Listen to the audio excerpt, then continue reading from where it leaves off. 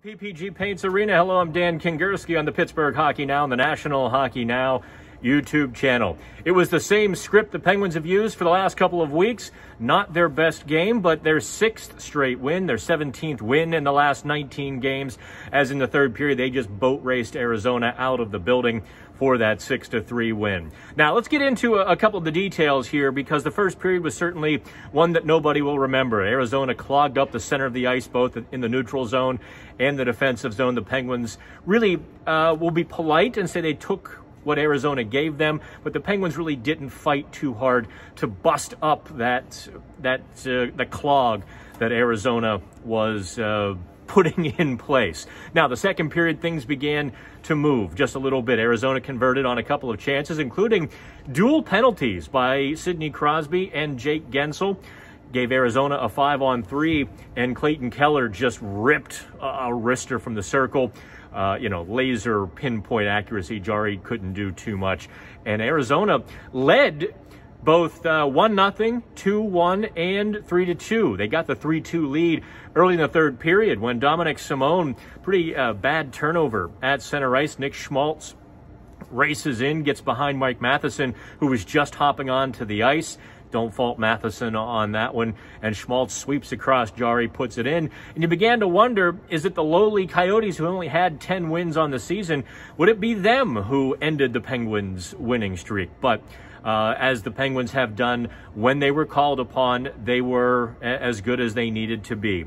In the third period, the, the Penguins began to to show their speed on the outside, but also get to the net. They began to fill the slot and then fill the net as a result. They began busting up Arizona's uh, clog. Bryan Rust said he thought Arizona took a few unnecessary chances and the Penguins capitalized. Rust and Sidney Crosby uh, they definitely had themselves a night. Each one of them had three points, a goal, and two assists. They, they were just flying from the puck drop. Uh, Sidney Crosby's no look backhand pass through his legs set up Bryan Rust's power play goal. As we grade the lines and check out the PHN Plus report card, uh, please and thank you. The Penguins' grades are, are a bit of a mixed bag because you have the top line with Sidney Crosby, Rust, and Guentzel that uh, provided almost all, or I should say uh, half of the Penguins' offense. That line had six scoring chances, six high danger scoring chances, compared to just five for the rest of the team.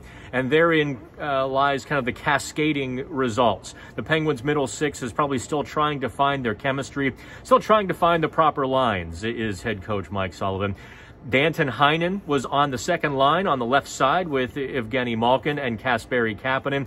That line was, was AWOL. They had just three shots on goal. Danton Heinen had zero, and they were really a non-factor. You really want to see that Malkin line dominate a weaker opponent like Arizona, and they, they really didn't. They, they were quiet as church mice on Tuesday night. For that reason alone, we kind of we scored them poorly. Danton Heinen is not a player who does a lot of other things. You don't notice him unless he's scoring, and with zero shots on goal, well, you can do the math.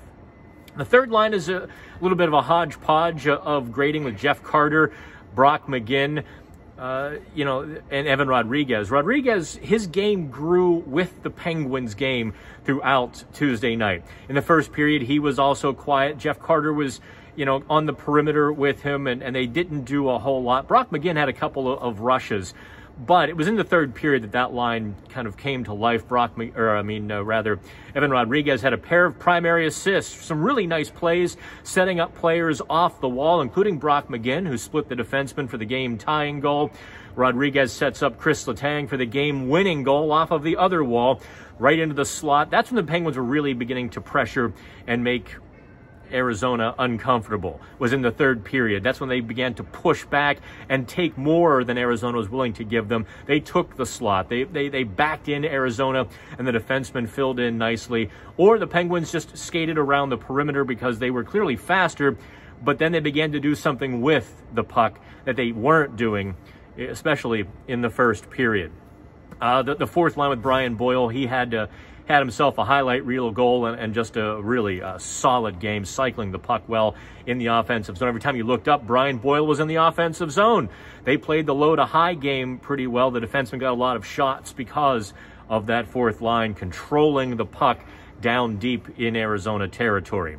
The defensemen, again, were activating frequently, being very aggressive, oftentimes a fourth stick in the play, especially in the third period. Kind of a curious thing that the Penguins F3 not always cycling to the top, and sometimes they're using that uh, four stick approach. So that's it from PPG. The Penguins win six to three. Like and subscribe for me, please. Uh, you're always uh, appreciated here. Uh, that's it for me. We will talk to you again on Thursday night.